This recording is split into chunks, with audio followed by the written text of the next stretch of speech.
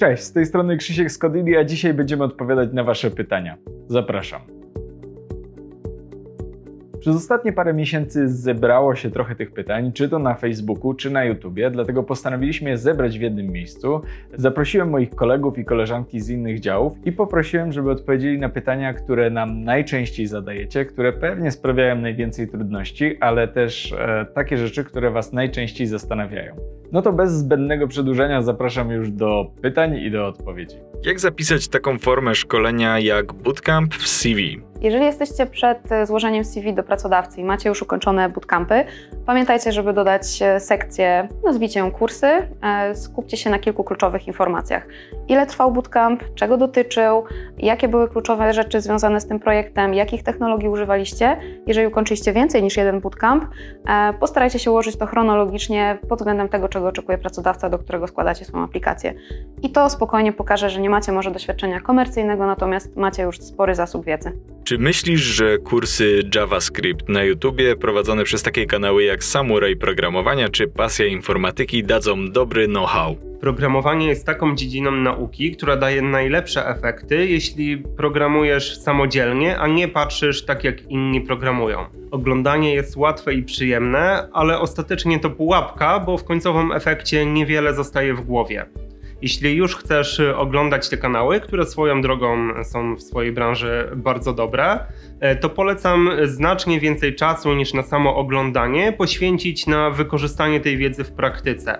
Czyli na przykład poświęcasz godzinę na oglądanie, a 10 czy nawet 20 godzin na przećwiczenie tego, o czym była mowa na wideo. Można by to porównać e, z nauką do jazdy na nartach. Jeśli chcesz się nauczyć e, jeździć na nartach, oczywiście możesz oglądać filmy na tym, jak ktoś jeździ na nartach. Pewnie znajdziesz też jakieś tutoriale, które uczą, jak balansować ciałem, czy tam jak sobie założyć e, wiązanie, ale ostatecznie dużo lepszy efekt uzyskasz, jeśli po prostu pójdziesz pojeździć na nartach. I tutaj z programowaniem jest dokładnie tak samo. Jak wygląda sytuacja z urlopami na bootcampach? Kiedy mogę sobie wziąć wolne? W przypadku kursu Java Developer i Web Developer, czyli kursów 6-miesięcznych, jest możliwość skorzystania z dwóch przerw po 14 dni. W przypadku kursów Java Developer Plus i Web Developer Plus, czyli dłuższych kursów 9-miesięcznych, urlopów mamy 3. Co to oznacza? Na przykładzie oznacza to tyle, że jeżeli w przypadku pierwszego urlopu skorzystamy z 7, a nie 14 dni, to 7 dni z tego pierwszego urlopu 14-dniowego po prostu nam przepada. Czyli wygląda to w sposób następujący. Pierwszy urlop to urlop 7-dniowy, drugi urlop to urlop 14-dniowy i trzeci urlop to też urlop 14-dniowy. Nie możemy przekładać tych dni e, w takim sensie, że jeżeli tutaj zostało nam 7 dni, to w kolejnym weźmiemy 21. Albo w kolejnym weźmiemy 14, a w ostatnim zabierzemy 21. 7 dni w pierwszym urlopie to 7 dni, pozostało nam dwa, dwie przerwy po 14. A czy jest szansa na zatrudnienie, jeśli nie mam wyższego wykształcenia? Patrzy ktoś na to, czy liczą się już tylko umiejętności? Są szanse, żeby zatrudniono nas bez wyższego wykształcenia technicznego, informatycznego, natomiast y, to wszystko zależy od kilku czynników. Korporacje wciąż stawiają na kształcenie wyższe, natomiast zaznaczenie wszystkie. E, software house'y, średnie i małe firmy związane z branżą IT bądź mające działy IT mają już nieco inne wymagania, więc tam jest spora szansa na to, że będą się skupiać na zweryfikowaniu wiedzy, jaką posiadacie i kompetencji.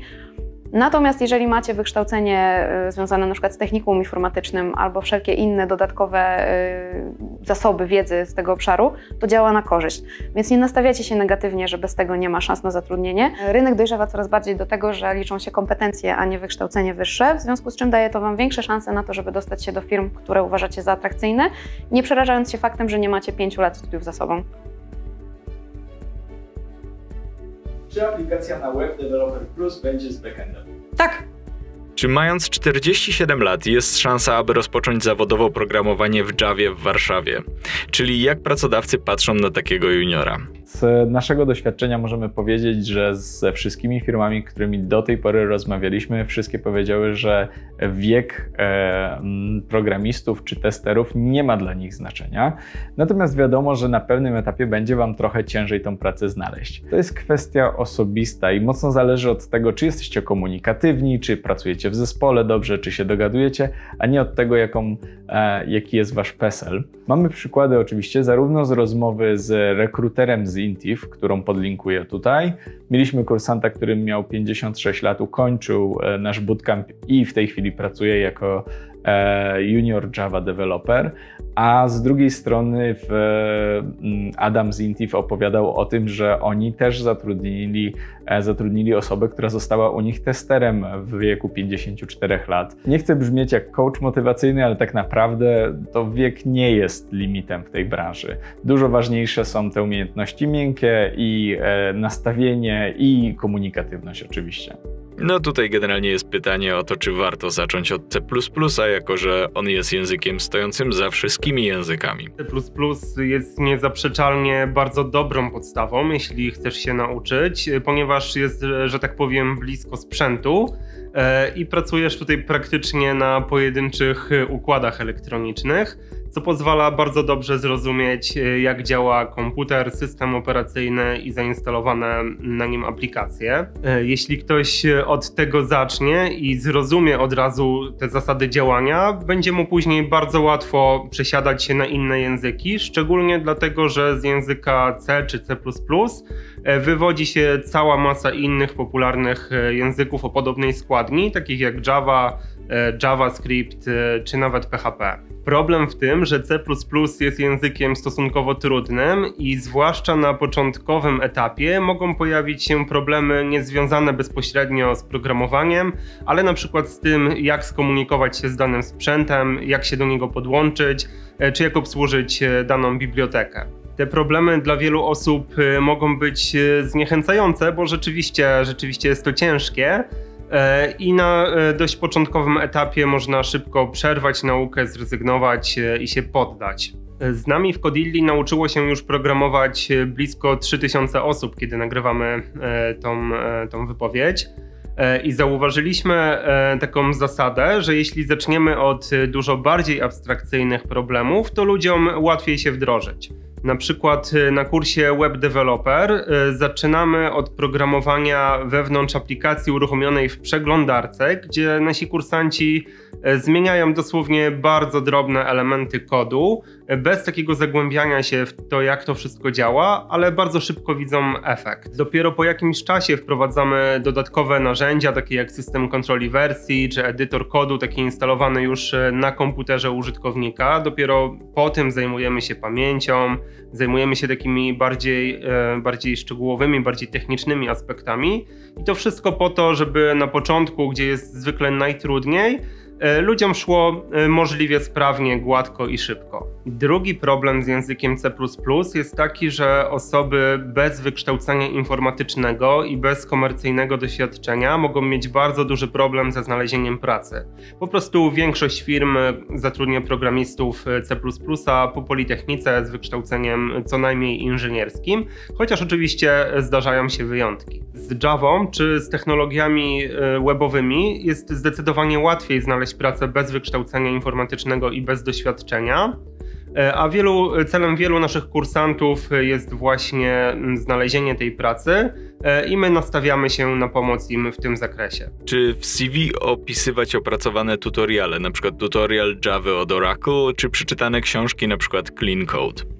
Osobiście odradzam. E, proponuję zamieścić w CV sekcję dodatkowe aktywności, dodatkowe działania, gdzie możecie spokojnie zamieścić informacje o, o, napisanych tutorialach, ale pamiętajcie, żeby się skupić na dwóch najważniejszych, z których jesteście zadowoleni i uważacie, że są na tyle ambitne. Natomiast jeżeli chodzi o przyczynę książki, tutaj przykładowo jak Clean Code, może lepiej poczekać z tym na rozmowie rekrutacyjnej. Kiedy zostaniecie zapytani o to, co robicie dodatkowo, gdzie szukacie informacji, e, co zrobiliście, śmiało wtedy o tym wspomnijcie. Natomiast nie przejmujcie się tym, że to gdzieś um-, umknie, ponieważ jest jeszcze LinkedIn, na którym możecie wszystko opisać nieco szerzej e, i pracodawca chętnie sobie tam zajrzy. I tam macie miejsce na zainteresowania, dodatkowe działalności, żeby to opisywać znacznie szerzej, jak, jak książki, jak artykuły, ale pamiętajcie, żeby było chronologicznie i możliwie mm, najświeższa wiedza, najświeższe Wasze osiągnięcia i żeby nie było przesytu. No i zachęcam też przy okazji do, do GitHuba. Udostępniajcie swoje projekty, kod źródłowy, dajcie się poznać innym programistom, uczcie się przy okazji. Pokaże Was to pracodawcy jako osoby zaangażowane, ambitne, uczące się i poszukujące informacji zwrotnych od osób bardziej doświadczonych. To się zawsze na rynku liczy.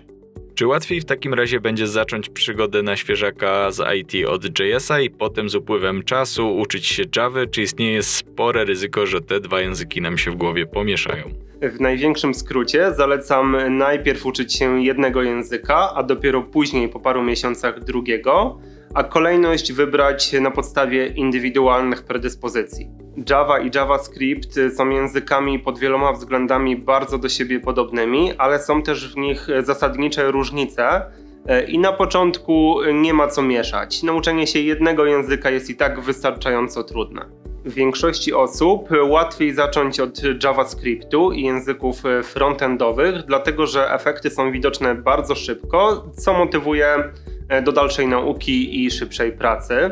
Jest natomiast duża grupa osób, które wolą zacząć od, że tak powiem, prawdziwego programowania i wybierają języki takie jak na przykład Java. Jednak wybór nie jest ani oczywisty, ani łatwy. Dlatego za każdym razem zalecam skontaktowanie się z naszym doradcą zawodowym, który na podstawie indywidualnych predyspozycji danej osoby pozwoli wybrać konkretny język. Z czasem, po mniej więcej kilku miesiącach programowania, zrozumiesz już w jaki sposób dogadać się z komputerem i nauczenie się kolejnego języka wtedy będzie bardzo szybkie, zajmie dosłownie kilkadziesiąt godzin. Dodam jeszcze, że zwykle programiści na poziomie juniora i regulara specjalizują się w jednym języku i po jakimś czasie dokładają do tego podstawy drugiego języka z przeciwnej strony.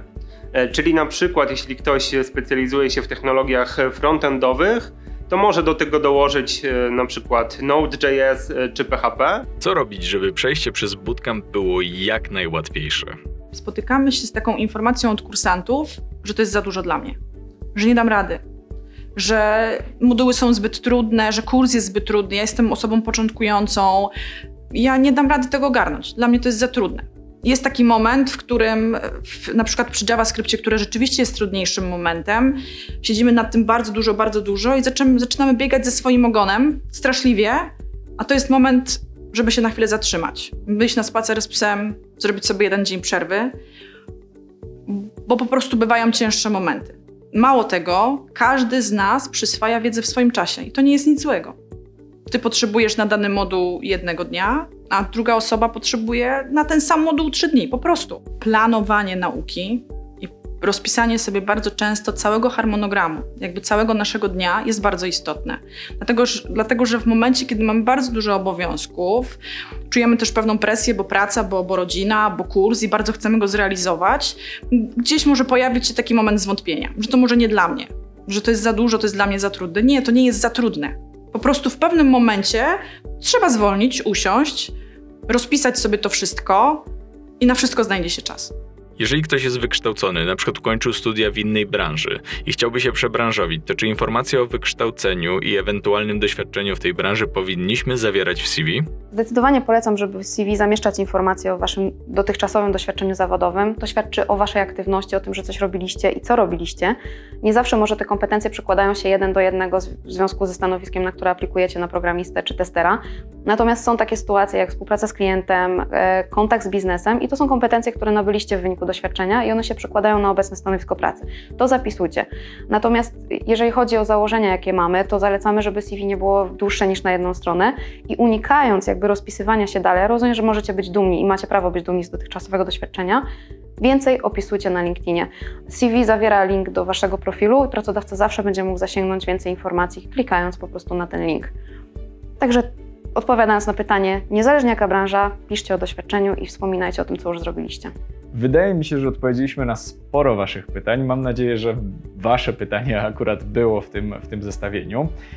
Ale to jest pierwszy film z tej serii, więc jeżeli będziecie mieli jakieś pytania, to zostawcie je w komentarzu pod spodem albo zostawcie pod jakimkolwiek z naszych innych filmów, a my postaramy się za jakiś czas zebrać je w jednym miejscu i tak jak w tej chwili odpowiedzieć na nie tak, żeby rozwiać Wasze wątpliwości. Dzięki wielkie za wysłuchanie i e, pamiętajcie, że zawsze możecie do nas napisać na Facebooku, e, w komentarzu tutaj, tak jak wspomniałem przed chwilą, e, na maila albo zadzwonić do nas. Wszystkie, wszystkie e, linki i wszystkie numery są pod spodem w e, opisie filmu. E, I oczywiście też zostawiamy linki do naszych bootcampów, jeżeli macie ochotę się zapoznać z ofertą, zapraszamy. Dzięki wielkie i do usłyszenia.